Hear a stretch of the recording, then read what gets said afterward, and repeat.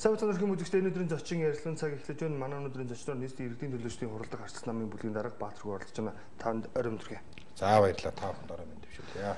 Тэгэхээр иргэдийн хурал сүүлүүд нэлээд их одоо юу гэдэг хил ам дагуулсан асуудалтай байх шиг байна. Ялангуяа бол хилцэж байгаа асуудлуудтай холбоотой за мөн одоо хурлын эрсдэлтэй холбоотой асуудал олонний харлаг яаж зүй өсөр татаж байна. За тэгвэл иргэдийн хурал 2017 оны ажлыг дүгнсэн байна. Таны хувьд бол арчил намын бүлгийн даргын хувьд бол ялангуяа 17 онд иргэдийн хурал маань хэрсэн ажилласан гэж харж байгаа.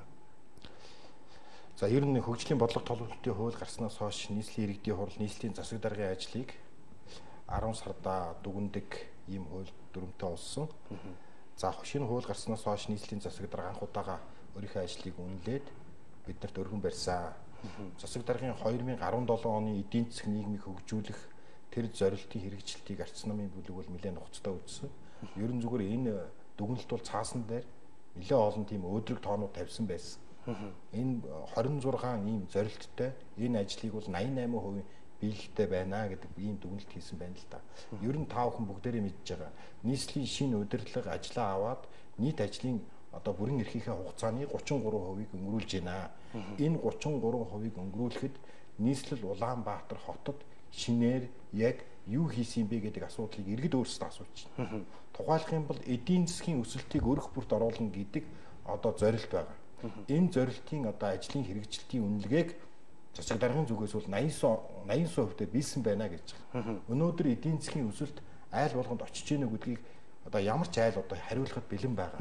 Дэлхийн банкны судалгаагаар ядуурл 2017 онд бол 29.6% хүрсэн байна.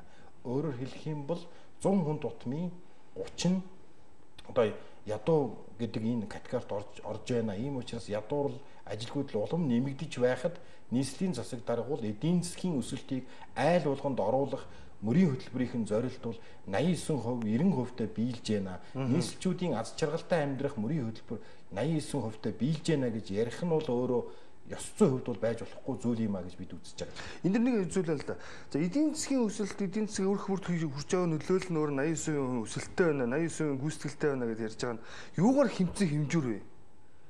За ер нь бол бид нэр яг энэ асуудал дээр нэлээд ач холбогдлоо гэж нийслэлийн засаг даргыг донгоцсон. Ер нь юу хэлээд байна вэ? Цаасан дээр нэг ажил тавьдаг. Ажлын хэсэг байгуулсан, ажлын хэсэг татан буулгасан, төслийг нээсэн, туу цаачилсан одоо юу гэдгийг тийм ээ шав тавьсан гэдэг ажлуудаар бол энэ ажлын хэсгийг ажлаа ажлаа үнэлсэн байгаа. Тэгээд одоо ажлын хэсэг байгуулсан бол ажлын биелэл 100%, ажлыг эхлүүлсэн бол 100% гэдэг өөрөөр юм иргэндээ тэр ажлууд нь хэрхэн яаж хүрж байгаа юм бэ гэдгийг ерөөсөө хэмждэггүй юм байна. Тэрнийгээ тооцдоггүй юм байна. Тийм аргачлал байхгүй. Тэгээд юу гэдгийг юм бэ гэхээр ерөөсөө ажлын хэсэг байгуулад нэг шийдвэр гаргасан бол энэ шийдвэр гаргацсан учраас 100% биелсэн гэж үзээд оруулж ирж байгаа. Ийм учраас бид юу гэж дүнсэн бэ гэхээр нийслэлийн засаг дараагаас өрхөн барьсан энэ ажлын гүйцэтгэлийн үнэлгээ бол иргэдээ тоо баримтаар хуурсан ийм дүнэлт байна. Яг үндсэндээ иргэдээсээ санал аваад иргэдийнхээ бодит амьдрал авах хувийг судалсан ийм дүгнэлт оруулж ирээгүй байна гэдэг ийм одоо шүүмжлэлийг бол бид өгсөн байгаа. За та бас энэ ярианд хэллээ л да. Засаг даргын нийслэлийн хотын удирдлагууд бол аваад нийт ажлынхаа 33%-ийг нь бол үндсэндээ хугацааг нь өнгөрүүлчихсэн байна. Өнгөрүүлэх ёстой хугацаа. Энэ дээр бүтээсэн ажлууд юу вэ гэдээ асуух юм бол одоо эдгээр бол нэлээд юм хийсэн гэж тайлбарлах гэдэг нэг та нөхдийн бол хийгээгүй нь хэлэх гээд байна. Тэгвэл Улаанбаатар дотор өнөөдөр яг хамгийн түрүү шийдэх ёстой асуудлууд жишээлбэл одоо шатраалан гараад ирнэ. Тэгээд үсгийн дараалал гэдэг шиг, толгой дараалал гэдэг шиг. Тэгэхээр хамгийн түрүү таны бодлоор эхлэх ажлууд хаанаасаа эхлээд яаж шийдвэл боломжтой гэж хараад байна. За ер нь бол бид нар нийслэл Улаанбаатар хотод зайлшгүй хийх ёстой тийм 11 ажлын жагсаалт гаргаж байгаа. Энэ Улаанбаатар хотод ямар ч нам ивсэл Улаанбаатар хотын захиргааг удирдах байсан ч гэсэн Улаанбаатарын өмнө тулгамдж байгаа 11 асуудал байгаамаа. Явж л байх хэрэгтэй. Явж л байх хэрэгтэй. Энэ бол монголчуудын холын зорилт, холын бодлого гэдэг шиг ийм стратеги байх хэрэгтэй. Нэгдүгээр Улаанбаатар хотын засаглалын асуудлыг шийдэх хэрэгтэй болчихлоо. Нийслэлийн иргэдийн хурал гэдэг байгууллага өөрөө 45 төлөөлөгчтэй нийслэлийн иргэн болгоныг одоо төлөөлөөд суугаад хурлаа хийгээд Улаанбаатар хотыг тасралтгүй тасралтгүй удирдлагаар хангаж ажиллах ёстой байгууллага маань өнөөдөр хурлаа хийж чадхаа байсан. Дүүргийн иргэдийн хурл гэж байгууллага байдаг. Нийслэлийн засаг даргуугаа түүний харьяаны байгууллага гэж байдаг. Гэтэл өнөөдөр олонхийг бүрдүүлж байгаа нийт 45 суудлын 34 суудал буюу 76%-ийг бүрдүүлж байгаа Монгол Ардын нам буюу эрх баригч нам нийслэлийн иргэдийн хурлыг хийж чадхаа болчиход байна. Өөрөөр хэлэх юм бол нийслэлийн бодлого тасалдсан гэсэн үг. Нийслэлийн бодлого чиглэл тасалдсан учраас нийслэлийн засаг даргын ажлыг үнэлэх, тэнд гүйцэтгэл, гүйцэтгэлд нь хяналт тавих энэ хяналт байхгүй болчиход байгаа юм аа. Иргэд биднийг яах гэж сонгодог юм бэ гэхээр татвар төлөгчдийн мөнгийг зөв хуваарлаа. Төсвийг хамгийн үр ашигтай зүйлд нь зарцуулаа. Түүний хяналтыг тавиа тэр нийслэлээр байгаа хөгжил дэвшлийн бодлогыг өөр өөрийнхөө тойрогт одоо аль болохоор одоо хүртээгээч гэдэг ийм байдлаар л бид нэг сонгодог. Гэтэл энэ байдал алдагдсан учраас миний хэлэх гээд байгаа хамгийн нэгдүгээр гол зорилго бол нийслэлийн засаглалыг өөрчлөх хэрэгтэй байна. Нийслэлийн иргэдийн хурлын төлөөлөгч гэдэг бол давхар одоо өнөөдөр засаг даргын агентлагт одоо орон нутгийн өмчт үйлдвэрийн газар ажил хийдэг байдлыг болио. Захирал болдог байдлыг бол дарга болдог байдлыг болио. Өнөөдөр бид нарыг бол нийслэлийн иргэдийн хуралд иргэндээ боломж олго, иргэнийхээ асуудлыг шийд иргэдээ ажилтаа борлохтой болгоо гэж сонгосон. Гэтэл өөрсдөө өөрсдийг ажилтаа болгоод явчлаа л да. Энэ байдалд бол бид нэлээд шөмжөлтэй хандж байгаа. Нэгдүгürt бол засаглалын асуудлыг шийдье. Хоёрт үнэхээр нийслэлчүүдийн өмнө тулгамж байгаа. Энэ монголчуудын өмнө тулгамж байгаа нэг асуудал байна. Улаанбаатар хотод хаашаач харсан хийх ажил зөндөө байна. Хаашаач харсан ажил хийж амжаагүй хүмүүс зөндөө байна. Тэгэхээр энийг холбосон хөдөлмөр эрхлэлтийг дэмжсэн цогц бодлого хийх шаардлага байгаа юм. Энэ утгаараа 2012-оос 2016 оны хооронд санхүүгийн үйлчлэгээ гэдэг зүйлийг баг боловсрал, дунд боловсрал, дээд боловсрал гэдэг шиг банкны тэр өндөр хүүтэй зээлийг, банкны тэр хэцүү шалгуурыг давж чадахгүй байгаа. Гэхдээ бизнес хийчихсэн хүмүүс зориулаад бичил бизнесийн одоо хадгалан зээлийн хоршоо байгуулсан.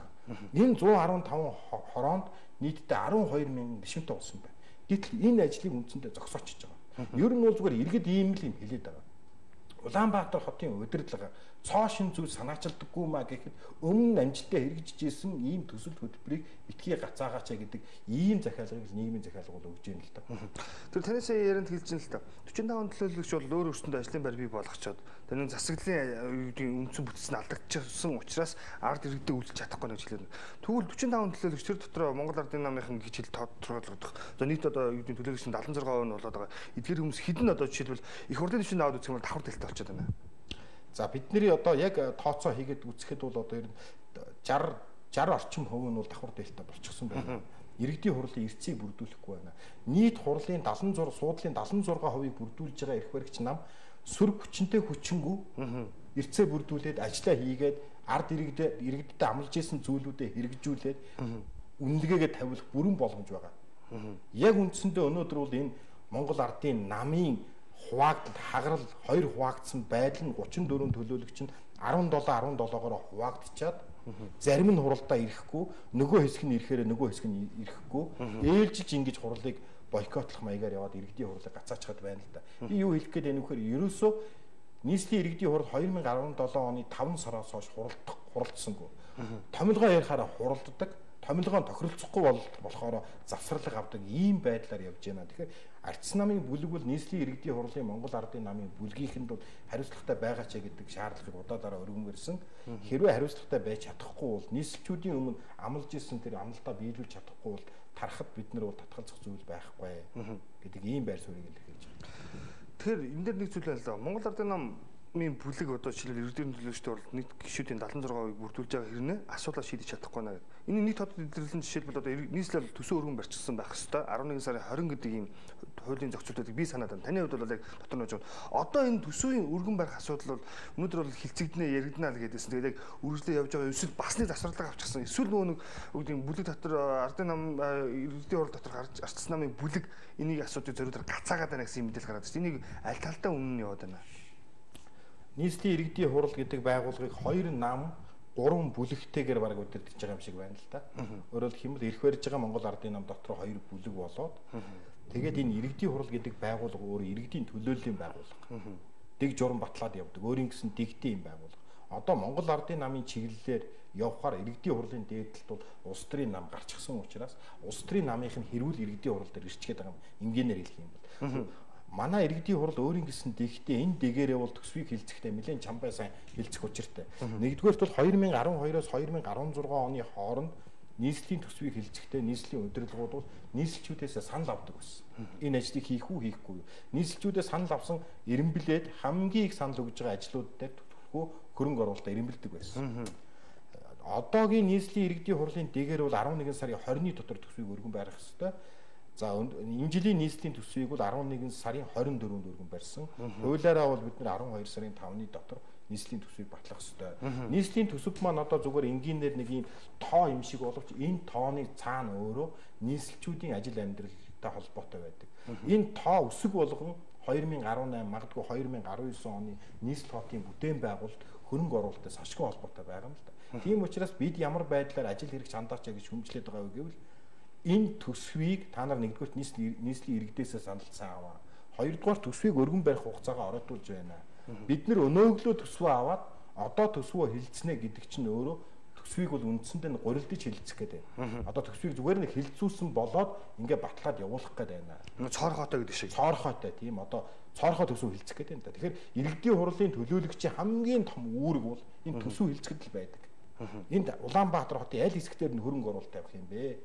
Хамгийн чухал ажил нь юу юм бэ? Сургууль цэцэрлэгийг яаж ойртуулах юм бэ? Гэр ороолын дахин төлөвлөлтөө хэрхэн хэрхэн үргэлжлүүлэх юм бэ? Багш нар эмч нарыг үр дүнгээр яаж урамшуулах юм бэ гэдэг өмнө явж исэн томоохон мега томоохон төслүүдэд яаж үргэлжлүүлэх юм бэ гэдэг дээр бид нар тал талаасаа ярилцах хэрэгтэй байдаг л да. Тийм боломжийг олгохгүйгээр эрх баригч нам төсвийг өргөн барьсан, дэг зөрчин өргөн бариад төрөө бариад батлах гэж яарч байна. Та бас хэллээ шүү дээ. Ирэх баригч нам 2 хувааг ч гэсэн үндсэндээ бол 2 намын 3 бүлэгтээ явчихлаа. Тэгээ асуудал шийдэхгүй гацаад байна гэж бас яриад байна. Нөгөө талдаа энэ их хурлыг иргэдийн хурлыг бол таруул яасан бэ гэдэг асуудал бас яригадаад нэг бүсудаа яригдлаа гал. Тэгэхээр иргэдийн хурал магадгүй ямар нөхцөл тарах нөхцөл бүрддэг юм бэ? Одоо хэрвээ таруул тараая гэж үзэх юм бол арчсан намын бүлэг энэ дээр ер нь ямар байдлаар оролцоход ерөнхийдөө бол хоёр гараа өргөд оролцсон одоо оролцсон гэж ярьдаг шүү дээ нийслэлийн иргэдийн хурал ер нь шат шатны орон нутгийн иргэдийн хурал гэдэг байгууллага тарахаар бол хуулийн хоёр гарц байгаад байна. Нэгдүгээр тухайн орон нутгийн иргэд одоо сонгогчдын дийлэнх олонх нь тараачаа гэдгээр гарын үсэг зурх юм бол тардаг. За нийслэлийн иргэдийн хурлын бүрдүүлж байгаа хүмүүсийн 3-ны 2 нь тарья гэдэг дээр гарын үсэг цуглуулах юм бол одоо 45 төлөөлөгчийн 30 нийслэлийн иргэдийн хурлыг тарах нь зүйтэй юм а гэж үзэх юм бол тарах боломжтой. Бид ямар байр суурийг удаа дараа илэрхийлж байгаа вэ гэхээр бид бол нийслэлчүүдийн өмнө үүрэг хүлээсэн. Тэр дундаа ирэх барьж байгаа нам. Монгол ардын нам аз жаргалтай Улаанбаатар хотыг байгуулна гэж иргэдийн нийт нийслэлчүүдийн сонголтын 76% саналыг аваад нийслэлийн иргэдийн хурлыг бүрдүүлээд дийлэнх олон хит олон улс анх удаага хит олон болцоход иргэдийн хурлыг хуралдуулж чадахгүй засаг дарга нь санаачлахгүй хойрог хандаад байвал иргэдийн хурлыг тарааж нийслэлийн удирдлагыг одоо дахин зохион байгуулах ийм шаардлага үүсхийг бол үгүйсэхгүй бид бол татгалзах зүйлгүй гэдэг ийм л байр суурьтай байна. Өнөөдөр бид нар асуудал яриад байна. Сая иргэдийн хурал дээр би засаг дарга хэлсэн. Та асуудал яриад байх юм. Шийдэл ярих хэрэгтэй. Шийдээ шийдээд явах хэрэгтэй. Шийдэх бүрэн эрх нь нийслэлийн удирдлагуудад байна. Сөрөг хүчин юу ярьдаг вөхөр ямар байх ёстой юм бэ гэдгийг хэлдэг. Нэгэнд хэрэгжүүлэхийг нь бол олонх нь хийгээ явдаг. Бид бол өнөөдөр ямар нэгэн ажил албан тушаал байхгүй бид иргэдийнхээ өмнөөс хяналт тавиад ийм байх ёстой юм биш үү? Ингээч тэгээч гэд иргэнийхээ хяналтыг тавиад байсыгээд албан тоо шийддэг ийм ажлыг л хийж байгаа. Тэгэхээр хурлын төлөөлөгч бүлгийн намын бүлгийн дарга оролцож байгаагийн хувьд бас нэг зүйлийг асуухгүй болохгүй хаа. Энэ юу вэ гэхээр Улаанбаатарчуудын хувьд бол шийдэх олон асуудал байгаа. Засаг захиргааны одоо шийдлийг бол та бол том руу хилчлээ. Тэгвэл Улаанбаатарчуудын хамгийн том шүдний өвчин бол яхааргүй хүйтний өлөрт нагаарын бохирдол утааны асуудал байдаг. За өнгөрсөн жил бол утааны эсрэг олон ажлыг төлөвлөсөн. За нэлээд бүр одоо юу гэдэг чигсаа цуглаан зохион байгуулагдаад хотын удирдлагч одоо ч иргэдийн уралдаж байгаа нөхдүүд бас оролцоол.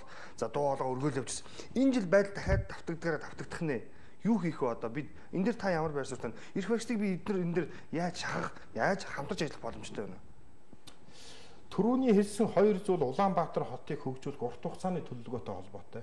Мэн яаралтай Улаанбаатар хотод шийдэх ёстой хоёр зүйл байгаа юм аа. Нэгдүгээрт бол агаар орчны бохирдол.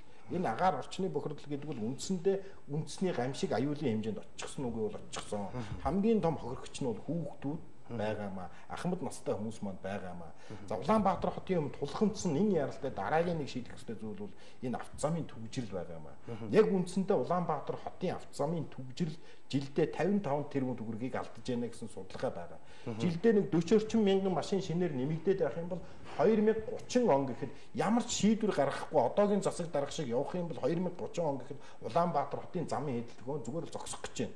Нийтийн тээврийн дундаж хурд бол 15 км цаг байсан бол өнөөдөр 9 км 10 км цаг болсон байна. Явган хүний дундаж хур 5 км. Тэгэхээр өөрөөр хэлэх юм бол Улаанбаатар хотын автозамын хөдөлгөөний дундаж хурд бол явган хүнтэйгээ ойртож очиж дээ шүү дээ. Тэгэхээр нин дэргүн шийдэх ёстой нэг асуудал бол энэ автозамын төвчрлийн асуудал, а нөгөө асуудал бол агаар орчны бохирдолтой холбоотой байна. Агаар орчны бохирдолтой холбогдуулаад нэмээд зүйл хэлэхэд бол нийслэлийн иргэдийн хурал бол боломжийн төсөв байгаа. Гайг ажил хийчихэр гайгүй ажил хийчихээр мөнгө тавьж байгаа. Саяхан таавхан нийслэлийн иргэдийн хурлын 2017 оны төсвийн тодтолоор 4.6 тэрбум төгрөгийг нэмж тавьж өгсөн. Нэмж баталсан. 3.1 дээр нэмэх нь 4.6 тэрбум төгрөгийг бид нэмж баталсан. Одоо бид нар бол боломжийн төсвийг дахиад өргөн барьж байна. Би юу хэлэх гээд байна вэ? Агаар орчны бохирлыг бууруулахад бол төсөв мөнгө бол багтахгүй байна. Боломжийн байна. Хамгийн гол нь энийг оновчтой, үр ашигтай зарцуулах хэрэгтэй байна. Тэгэхээр агаар орчны бохирлыг бууруулах асуудлыг дахиад хоёр хуваах хэрэгтэй.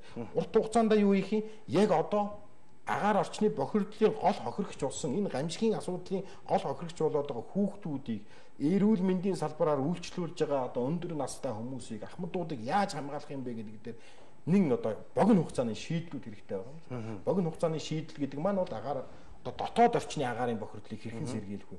Бүх энэ агаарын одоо бүс өндөр агаарын бохирдол өндөртэй бүст байгаа сургууль цэцэрлэгүүдийн дотоод орчны агаарын бохирлыг бууруулах чиглэлээр бид санал өргөн барьсан. Имлэгүүдийн дотоод орчны агаарын бохирлыг бууруулах чиглэлээр санал өргөн барьсан. Мөн иргэдтэй эдийн засгийн одоо аргаар тийм агаар орчны бохирдлыг бууруулахад ийм дундын зээлийн сан бий болгоё гэдэг санал өргөн барьж байгаа. Энэ маань юу хэлээд энэ нөхөр дулаалга. За цахилгаан халаагуур. Магадгүй өөрийнхөө одоо хашаан дотор байгаа ариун цэврийн байгууламжаа сайжруулъя гэвэл тэр хүнд яг одоо бэлэн мөнгө байхгүй. Уг нь авчих сонирхол байна. Тэгэхээр энийг хөнгөлтэй зээлээр авдаг ийм дундын сан бий болгоод эдийн засгийн зохицуулалтаар иргэдэд дэмжих ийм бол шаардлага гараад байгаа. Энэ саналыг хэлсэн байгаа. За урт хугацаанд бол мэдээж одоо та бүхэн бүгдээрээ л мэдж байгаа. Гэр хорооллын дахин төлөвлөлт гэдэг зүйлийг Улаанбаатар хийх үү, хийхгүй юу гэдгээс цаашдын 100 100 жилийн хөгжлийн асуудал яригдана. Энд дэр нэг зүйл байна л да. Таны яран дээр бол ингээд за ингээд арчилсан намын бүлэгч гэдэг юм уу, та нөхдийн зүгээс ч гэдэг юм уу, иргэдийн бол тодорхой саналуудыг оруулаад байгаа юм байна. Засаг дараах тодорхой асуудлаа тавиад байгаа юм байна. Шийдсэн үү? Иргэдийн хурл яг одоо ингээд бүр эрхийн хугацаа эхэлснээсээ хойш энэ таны та нөхдийн тавьж байгаа асуудлыг шийдсэн үү? Засаг дарга та нөхдийн тавьж байгаа асуудалтай холбоотойгоор за эцсийн гарц гаргалгааг гаргасан уу? За яг энэ асуудын дээр хоёр сүбэгт бол хоёул хоёулыг эрх бүхий гарын үсэг зорж энэ хөтөлбөрийг явуулаа. Энэ энэ тийчнээ 1090-д хэрэгтэй байна, энэ 790-д хэрэгтэй байна гэж шийдэх хоёр үнэлтэй. За нийслэлийн иргэдийн хуралгаас гарч байгаа шийдвэр бол хамтын шийдвэр байдаг. Олон хороо гар өргөдөг. Мэдээж зарим тохиолдолд бол ардс намын бүлгийн санал байна гэд сөрөг хүчний бүлгийн саналыг унгана гэдэг байдлаар унгачдаг тал байдаг. Энэ бол одоо парламент байдаг зүйл байна. Гэхдээ бид нар энэ асуудлаар засаг дарга албан тоотууд өгдөг янз бүрийн байдлаар төсөв дээр өргөн бариач гэдэг. Тухайлах юм бол сая нийтийн сургууль цэцэрлэг агарын бохирдлын хэмжээний агарын бохирдлын хохирогч болоод байгаа хүүхдүүдийг нэгдүгээр одоо нин яаралтай хамгаалъя гэдэг саналыг бол нийслэлийн иргэдийн бол хүлээгээд авчиж байна. Энэ бол их том амжилт гэж бодож байна. Үнэхээр энэ хүний төлөө хүүхдүүдийн төлөө олон санаачлалыг гаргаж байгаа. Тэр дундаа манай нийслэлийн иргэдийн хурал гарцсан намын эмэгтэй төлөөлөгчд бол хүүхдэд ээлтэй Улаанбаатар хот байгуулъя. Ер нь хот бол нэн тэргүүнд хүүхдэд лээлтэй байх хэрэгтэй байна гэдэг энэ саналыг гаргаж байгаа. Бид нар энийг нийгэм эдийн засгийн зорилтод бол тусгуулчихсан байгаа. За бид нар байс хийгээд нэг албан тоот өгдөг юм засаг дарга руугаа энэ ажлыг ингэж хийгэрч гэдэг. Тэгээд бидний өгж байгаа ажлыг улс төрийн нүдээр харах юм бол энэ ажил явахгүй. Бид бол иргэний байгууллагыг аль болохоор улс төржүүлэхгүйгээр ажлуудыг одоо явуулчаа гэдэг ийм байр сууриас бол хандж байгаа. Тэгээд тодорхой ажлуудыг бол тухайлах юм бол энэ ажлуудыг өнгөрсөн жил бол хэрэгжүүлээгүй. Бид нар бол одоо дахиад санал тавих гэж байна багш нар эмч нарыг үр дүнгийн индексээр нь урамшуулдаг байсан. Нийслэлийнхээ. Энэ юу юм бэ гэхээр өнөөдөр багш нарын ажлыг үр дүнгээр нь урамшуулна гэдэг бол багш төгж байгаа цалин юм шиг болоод цаана Монгол улсын ирээдүйд оруулж байгаа хөрөнгө оруулалт. Хүүхдийн ирээдүйн цалинтай холбоотой асуудал. Эрүүл мэндийн салбарын чанартай эрүүл мэндийн үйлчлэгээ үзүүлж байгаа эрүүл мэндийн салбарынхныг бид нар урамшуулдаг байсан. Энэ ажлыг мөн эдгээр хүлээж аваагүй барих хэрэгчэд За бид нар мөн гэр хорооллын дахин төлөвлөлтөн дээр маш тодорхой төсөл танилцуулсан. Хүлээж аваагүй. Юу хэлэх гээд вэ нөхөр сайн хашаа хөтөлбөрийг бид нар санал болгоход эдийн засгийн аргаар айл өрөх маань хямд хүүтэй зээлийн их усүрээр орон байраа дулаалаад одоо халаалтын их усүртэй болох ийм шийдлүүдийг санал болгосон. Хүлээж аваагүй. Ахмадын орон сууц гэдэг хөтөлбөр байгаа маань. Бид нар энэ Ахмадын орон сууц гэдэг хөтөлбөр ерөн зүгээр таахан бүгдээрээ мэдж байгаа. Улаанбаатар хотод яг өргөдлөө өгсөн 4200 орчим Ахмад байна Энэ жилийн энэ жилийн 2017 оны засаг даргын үйл ажиллагааны хэрэгжилт гэдэг дээр 6 ахмадыг оруулсан байна гэж байгаа. 6 ахмад. 4206. 4200 ахмадаас 6 ахмадыг оруулсан байна. Ахмадууд маань одоо юу байдгийг дулаахан сайхан тухлаг тэгээд араа хямдах хямдхан ийм одоо түрээс 200 орчим ахмад байна. Энэ жилийн энэ жилийн 2017 оны засаг даргын үйл ажиллагааны хэрэгжил гэдэг дээр 6 ахмадыг оруулсан байна. 6 ахмад. 4206 4200 ахмадаас 6 ахмадыг оруулсан байна. Ахмадууд маань одоо юу гэдгийг дулаахан сайхан тухлаг тэгээд араа хямдах хямдхан ийм одоо түрээсийн орон байранд орё гэдэг саналыг бол маш их илэрхийлдэг. Ийм учраас 2015 онд Ахмадын орон сууц гэдэг хөтөлбөрийг бид нэр санаачлаад энийгээ үргэлжлүүлъя гэж засаг дарга хэлээд байгаа. Энэ жил бид нар дахиад хэлж байгаа. Ахмадуудад дээр та нар улс төржиж болохгүй. Агаарын бохирдол дээр улс төржиж болохгүй. Зүгээр л энэ ажлыг үргэлжлүүлээд яваачаа гэдэг саналуудыг бол удаа дараа бид нар хэлсээр байх болно л гэж бодож байна. За баярлалаа. Тэгэхээр та бүхэн энэ мэтлэл яриул бас цаг нэлээд их орохоор өнөөдөр ярилцах цаг маань бас энэ хүрээд өндөрлөж байна. Тэгээс цаг заваагаар манай студид хүрэлцэрж бас тодорхой мэдээлэл өгснөд баярлалаа. За баярлалаа. Үзэгчдийн өнөөдрийн зочин ярилцлага цаг маань энэ хүрээд өндөрлөж байна. За манай өнөөдрийн зочноор нийслэлийн иргэдийн төлөөлөгчдийн хуралдах арс намын бүлийн дарга Баатар